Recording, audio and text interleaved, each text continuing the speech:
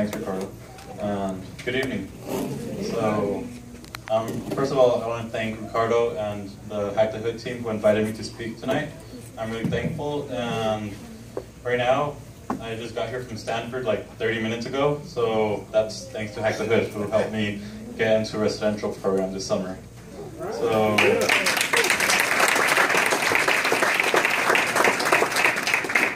So one year ago from now, I was like in the audience graduating from the Hack the Hood bootcamp, and I was as excited as if I were to graduate high school.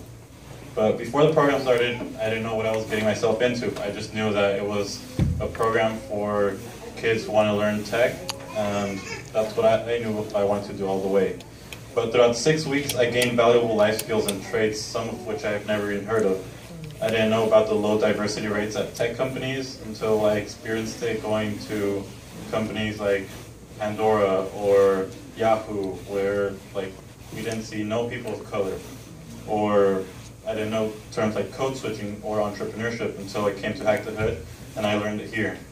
And if it weren't for Hack the Hood, I would probably have not learned to work and communicate with my clients the past in during the bootcamp and the ones I have now, or network with professionals. Well, this networking I learned at Hack the Hood has really impacted my life. Um, like most recently, when I wanted to go to a prestigious programming academy in San Francisco, because of the networking I learned with Hack the Hood, I was able to fundraise a lot of money, and I was able to go to the program.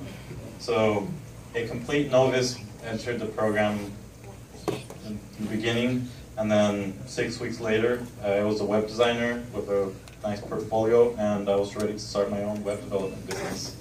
So that was like a zero dollar investment.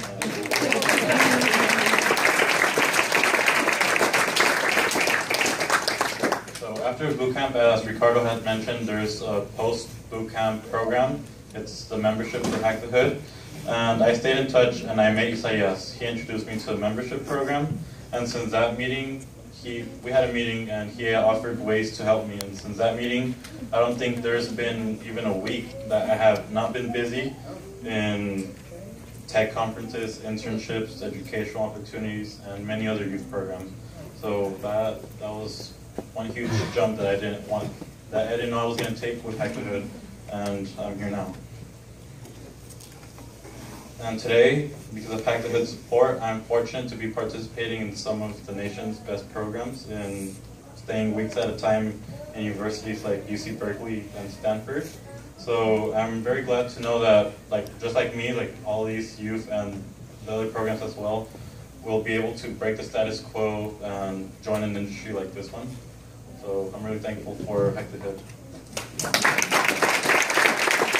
Thank you. So.